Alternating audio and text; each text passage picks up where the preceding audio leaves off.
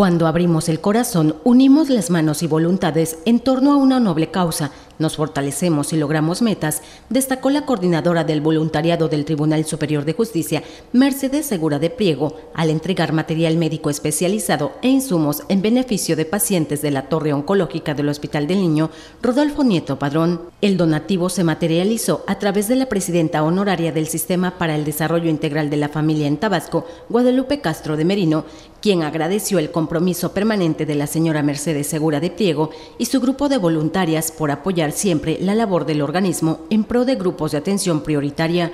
La aportación de material hospitalario, sin duda, ayudará para la aplicación de tratamientos a niñas y niños, pero también será un apoyo para la tranquilidad de sus familias que están pendientes de su recuperación, subrayó. La donación consiste en catéteres bailón y agujas Uber. Implica que aplicar medicamentos a los niños sean menos dolorosas y el proceso sea mucho más fácil para los galenos, explicó la titular del DIF Tabasco. Este día constatamos lo valiosas que son las personas capaces de escuchar al llamado de ayudar, pero sobre todo de atenderlo y de poner manos a la obra.